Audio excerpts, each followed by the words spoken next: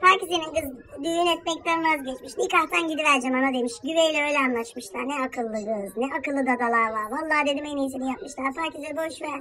Yelle dedim. Kimseyi memnun edemezsin. Bak o düğünler var ya fuzuli, masraf. Herkese masraf. Ne giyeceksin, ne edeceksin, ne takacaksın. Zaten dakı şimdi altının yanına varılmıyor. Herkes onu taksın geçsin geline damada o fayda olur. Yoksa bak ne yaparsan yap insanları memnun edemezsin öyleyse. İnsanlar oraya kıybete geliyor. Kim ne giymiş, kim ne yapmış, gelinin gelinliği nasıl, altın çok takıldı mı, yemekler iyi miydi, grup pasta mı verdiler bir grup tarafından, yaş pastanın kiraması bozuktu. Tabii bir de kavga çıkıverdi miydi, tamam gali al eline çekirdeğini izle. Kimin dayısı gustu, kızın mı, oğlanın mı? Bak bunlar hep konuşulan şeyler. Düğünler fuzuli. Gitsinler balaylarında yesinler o paraları. Alemi sen memnun edebilir misin? Edemezsin. Sene çok çünkü piyasada. Yani sen de üzülme. Hani bana da öyle kıytırıktan bir yapı verdiniz sokak ortasında ben düğünü. Ha? Nasıl? Nasıl yaptınız?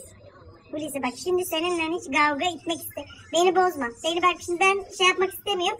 Bu başka videonun konusu başka zaman anlatacağım düğünümü. O düğüne benzemeyen düğünü sokak ortasında geldi. Yallalla yallalla yaptı tepçi Nuriye vardı bir tane. Hadi bayırası senesi. Düğün fuzuli yapmayın. Gidin eğlenin paranızı yiyin de. Alemi memnun? Hı. Boş verin.